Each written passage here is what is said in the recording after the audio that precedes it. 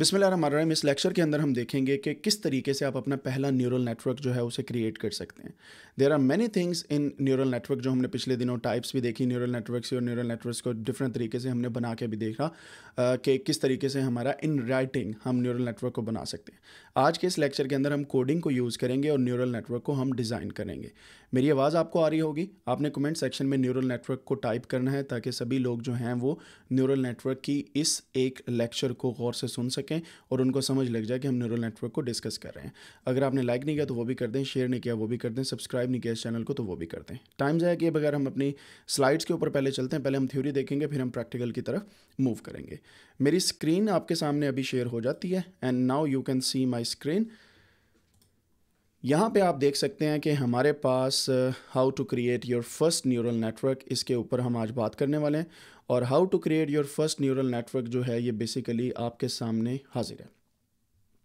अब होता क्या है, जब भी कभी आप अपना पहला न्यूरल नेटवर्क बनाने जाते हैं ना तो आपके सामने कुछ इस तरीके से चीज़ें जो हैं वो आ रही होती हैं। अब मैं आपके सामने न्यूरल नेटवर्क के मेन स्टेप्स बताऊँगा कि कितने मेन स्टेप्स हैं and how you can actually create a nice neural network तो अगर मैं इसको बोलूँ कि हमारे पास दस न्यूरल नेटवर्क के मेन स्टेप्स हैं कि जब आप न्यूरल नेटवर्क को बनाना चाहते हैं तो आपको ये दस स्टेप से गुजरना पड़ता है। यानी कि ये वाले दस स्टेप ऐसी गाइड बुक हैं, जो आपको न्यूरल नेटवर्क को बनाने में हेल्प आउट करने वाले हैं। तो अगर आप रेडी हैं तो हम स्टार्ट करते हैं। सबसे पहला स्टेप जनावे वाला आपके पास है कि आपने टेंसर फ्लो को इंस्टॉल करना है और हम टेंसर फ्लो लाइब्रेरी को यूज़ करेंगे ही अपना आज का जो न्यूरल नेटवर्क है उसे बनाने वाले हैं। ये आपको पिछला टास्क दिया गया था, हमें से काफ़ी लोगों ने इसे इंस्टॉल कर लिया होगा।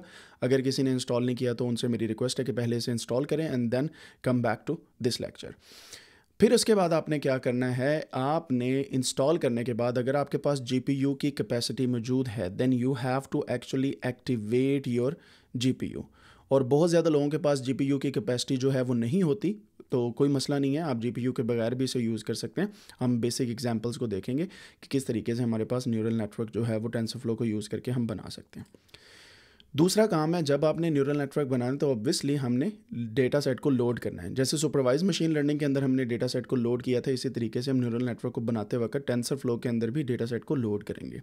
सी बॉन की लाइब्रेरी आपने देखी थी। आपने टेंसर फ्लो की लाइब्रेरी देखनी है अब, और इससे पहले आपने कुछ और भी लाइब्रेरीज़ देखी जैसे साइकेट लर्न है। हर लाइब्रेरी के अंदर कुछ एग्जाम्पलरी डेटा सेट मौजूद होते हैं, ठीक है? तो हमने क्या करना है, उन एग्ज़ाम्पल के डेटा सेट्स को उठा के, उस पर पहले एक न्यूरल नेटवर्क बनाना है and then we will proceed further with the advance level architecture of neural network ठीक है? यहाँ तक आपको क्लियर हो गया होगा। लोड द डेटा सेट अब डेटा सेट लोड कर लिया। अब डेटा सेट को लोड करने के बाद आपके पास कुछ प्री प्रोसेसिंग के स्टेप्स हैं। जैसे कि डेटा प्री प्रोसेस आप करते हैं तो जब भी न्यूरल नेटवर्क को आपने लोड करना है तो आपसे मेरी रिक्वेस्ट ये है कि आप प्री प्रोसेसिंग डेटा की ज़रूर करें। जिसमें मिसिंग वैल्यूज़ को रिमूव करना आउटलायर्स को रिमूव करना स्केलिंग करना या इनकोडिंग करना wherever this these steps are necessary please do these steps ठीक है? जब आप इन स्टेप्स को परफॉर्म करते हैं तो क्या होता है? आपका जो आर्किटेक्चर है न्यूरल नेटवर्क का, वो बहुत ही ज़बरदस्त तरीके से आपके सामने बन के आ जाएगा। एंड लेटर ऑन आप क्या कर सकते हैं? After that pre processing of the data set आप क्या कर सकते हैं? सेलेक्ट कर लेंगे फीचर्स एंड टारगेट वही एक्स एंड वाई तो चार स्टेप तो आपको पहले से पता है, और आपको पता है कि किस तरीके से हम इन चारों स्टेप्स को परफॉर्म करते आए हैं अभी तक। ठीक है? फिर इसके बाद अगर देखें तो फिफ्थ स्टेप आपका क्या है? स्प्लिटिंग द डेटा सेट आप क्या करते हैं? डेटा को डिवाइड करते हैं टू टेस्ट टू सेट्स पहला ट्रेनिंग डेटा और दूसरा टेस्टिंग डेटा यानी कि एक्स वाई में डिवाइड करने के बाद आपने डेटा को एटी ट्वेंटी सेवेंटी थर्टी या whatever the ratio is आपने उसमें डिवाइड कर लेना। जब डिवाइड हो गया, इतना काम भी आपको पता है। फिर आप क्या करते थे? स्टैंडर्डाइज करते थे डेटा को, यानी कि फीचर्स को स्केल करते थे using different methods like mean से मिन मैक्स स्केलर या सम अदर स्केलर्स तो आप उनकी स्केलिंग भी यहाँ पे कर सकते हैं। आप ये छठा स्टेप प्री प्रोसेसिंग में भी कर सकते हैं, लेकिन सिर्फ़ फीचर्स की स्टैंडर्डाइजेशन और स्केलिंग के ऊपर भी ये स्टेप जो है वो लेके आ सकते हैं। छः स्टेप हमारे पास टोटल हो गए। अब चलते हैं स्टेप नंबर सेवन पे। आपने क्या करना है? न्यूरल नेटवर्क के मॉडल को पहले बिल्ड करना है। जैसे हम साइकेट लर्न के अंदर फॉर एग्जांपल सिक्स स्टेप तक सारे के सारे स्टेप साइकेट लर्न के अंदर भी कर रहे थे। अब हमने क्या करना है? हमने न्यूरल नेटवर्क के मॉडल को बिल्ड करना है। और बिल्ड करने के लिए हम क्या करेंगे? हम बेसिकली इस मॉडल को बनाएँगे सीक्वेंस को बनाएँगे, जैसे इनपुट लेयर बनाएँगे आउटपुट लेयर बनाएँगे, और उसके अंदर कुछ हिडन लेयर्स बनाएँगे, जैसे हमने मल्टी लेयर परसेप्ट्रॉन की जो हमने स्ट्रक्चर देखी थी, उसके हिसाब से हम अपना न्यूरल नेटवर्क जो है उसे डिज़ाइन करने वाले हैं। समथिंग लाइक दिस ठीक है? हम पहले इनपुट लेयर बनाएँगे, फिर हिडन लेयर्स बनाएँगे, फिर आउटपुट लेयर बनाएँगे, ठीक है? तो मल्टी लेयर परसेप्ट्रॉन इस तरीके से बनेगा input layer hidden layer and output layer और जैसा कि मैंने आपको पिछले लेक्चर के अंदर भी बताया था कि जब हम hidden layers input layers and output layers की बात करते हैं then we also talk about many other steps जिसमें एक्टिवेशन फ़ंक्शन भी आएगा and then there are many other steps as well जिनको हम इनशाला इसमें काम में लेके आएँगे। सो so, पहली चीज़ सिक्वेंस सिक्वेंशियल मॉडल हमने बनाना है यानी कि एक सीक्वेंस बनानी है input layer hidden layers and output layers ठीक है? और हर एक चीज़ को लीनियरली स्टैक करना है, ठीक है? लीनियर स्टैकिंग करनी है, जैसे मैंने आपको बताया, हर न्यूरॉन को या नोड्स को हमने लीनियरली स्टैक करना है, ठीक है? फिर हमने हिडन लेयर्स को ऐड करना है एक्टिवेशन फ़ंक्शन होगा for non linear processing data then हमने आउटपुट लेयर को ऐड करना है using some kind of sigmoid और रेलू फ़ंक्शन तो एक्टिवेशन फ़ंक्शन की बात हम बाद में करेंगे बट फॉर नाउ हमने हिडन लेयर्स को ऐड करना होता है।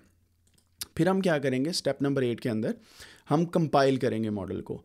और मॉडल को कंपाइल करने के लिए आपको एक लॉस फ़ंक्शन लेके आना पड़ता है, ठीक है? और आपको एक बेसिकली एक मैट्रिक लेके आना पड़ता है, जिससे आप उसकी एक्यूरेसी या कोई भी मीन स्क्वेयर एरर या सम अदर थिंग्स आप उनको चेक करते हैं। कि क्या हमारी हर इटरेशन के बाद इटरेशन का लफ्ज़ आपको समझ आ रहा होगा? नहीं आ रहा तो प्लीज़ पिछला लेक्चर देख लें। आपकी हर iteration backward forward propagation and back propagation के बाद जो भी एक्यूरेसी के अंदर बदलाव आ रहा है, यानी कि वेट्स एंड बाइसेस जो चेंज हो रहे हैं, वो किसी भी एक मैट्रिक्स की बेस पे हम मैयर करते हैं। और जो ट्रू टू प्रिडिक्ट डेटा हमारे पास जो लॉस फ़ंक्शन होता है वो प्रडिक्ट करता है कि आपका जो लॉस है वो कितना है ठीक है?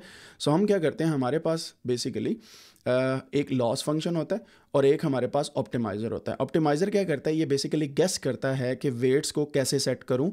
ये जो लॉस फ़ंक्शन है ये कम हो जाए। यानी कि जो लॉस है, हमारा कम हो जाए एक्यूरेसी इंक्रीज़ कर जाए। तो बेसिकली ऑप्टिमाइज़र क्या करता है? चीज़ों को ऑप्टिमाइज़ करता है और इसमें एडम ऑप्टिमाइज़र एक अच्छा खासा मशहूर ज़माना ऑप्टिमाइज़र है, जिसको हम यूटिलाइज़ भी करेंगे और देखेंगे भी, ठीक है? इसके अलावा लॉस फ़ंक्शन के लिए अगर आप देखें तो बाइनरी क्रॉस एंट्रोपी बहुत ज़्यादा यूज़ होता है बाइनरी क्लासिफिकेशन के लिए और एक मैट्रिक यूज़ होता है। तो हमारे पास कोई भी एक ऑप्टिमाइज़र होगा लॉस फ़ंक्शन होगा और कोई एक मैट्रिक्स हो गया। तीन चीज़ें हमारे पास ऐसी होंगी जिसके थ्रू हम देखेंगे कि हमारा मॉडल कंपाइल हो रहा है। यहाँ पे हमने मॉडल को बिल्ड करना है, यहाँ पे उसको कंपाइल करना है कि जब हमारा मॉडल बिल्ड हो जाए then we can run these three things जिसमें ऑप्टिमाइज़र है लॉस फ़ंक्शन है एंड देन हमारे पास कोई भी एक मैट्रिक है। ये तीन चीज़ें याद रखिएगा। ठीक है? देन स्टेप नंबर नाइन क्या है? हमने ट्रेन करना है मॉडल को। Train the model using the training data we specify the number of epochs epochs क्या है? जब भी आपके पास ई पॉक्स का लफ्ज़ आएगा इट मीन्स आपने कितनी इटरेशंस को रन करना है over the entire data set यानी कि शुरू से लेके एंड तक जाना और फिर बैक प्रोपिगेशन करना। एक इटरेशन है, दो इटरेशन फिर जाना आ गया और फिर वापस आना तीन इटरेशन फिर जाना आ गया फिर वापस आना चार इटरेशन वो कितनी दफ़ा आपने फॉरवर्ड एंड बैक प्रोपिगेशन करनी है टू ऑप्टिमाइज द मॉडल उसको हम बोलते हैं epochs E P O C H S epochs ठीक है? ये इट्रेशन होती हैं बेसिकली ये लफ्ज़ नहीं भूलना चाहिए आपको। फिर आप क्या करते हैं? And the batch size batch size क्या होता है? ये भी एक इंपॉर्टेंट टर्म है। Number of samples per gradient update यानी कि कितना आपने नंबर ऑफ़ सैंपल्स को हर दफ़ा में अपडेट करना है। ठीक है? इसको बैट साइज़ बोलते हैं। तो हमने क्या करना है? ई पॉक्स और बैट साइजेस को भी माइंड में रखना है। ये हो गया हमारा स्टेप नंबर नाइन जब मॉडल ट्रेन हो गया ऑब्वियसली हम क्या करते हैं? हम मॉडल को वैल्यूएट करते हैं और वैल्यूएशन के लिए, हम मॉडल के लिए क्या करेंगे? हम क्या करेंगे? हम एक्सेस करेंगे कि परफॉर्मेंस क्या है डेटा सेट की on the model to test the data जो हमारे पास ऑलरेडी डेटा है, हम उसके ऊपर इसको रन करके देखेंगे और देखेंगे कि हमारे पास जो मॉडल ने कुछ प्रोडिक्ट किया है how can we actually see that in in real world और मॉडल को ट्रेन करने के बाद हम उसको किस तरीके से एक्यूरेसी की तरफ़ लेके जा सकते हैं and how we can actually evaluate using different metrics metrics वही रहने हैं जो हमने पहले भी यूज़ किए हैं। और आज हम मॉडल को जब डेवलप करेंगे in that model we will see इनशाला मैनी थिंग्स जो टेंसर फ्लो के अंदर हम यूटिलाइज करने वाले हैं। राइट जी? यहाँ तक आपको क्लियर हो गया होगा। अगर क्लियर है तो please write down in the chat session और अगर आपको क्लियर नहीं है if you have any question let me know in the comment session section अब एक चीज़ याद रखें, ये जो दस स्टेप हैं, ये दस के दस स्टेप्स बहुत ही इंपॉर्टेंट हैं। और इन दस स्टेप्स को हम यूज़ करते हैं whenever we create a neural network ठीक है? और इन अभी उसको हम बना के भी देखने वाले हैं। मैं सिर्फ़ आपको एक फ़ाइनल रिवीजन दे दूँ कि ये दस स्टेप कौन कौन से हैं। तो सबसे पहला काम आपका वही कि आपने टेंसर फ्लो को इंस्टॉल कर लिया, ये एक ही दफ़ा करेंगे।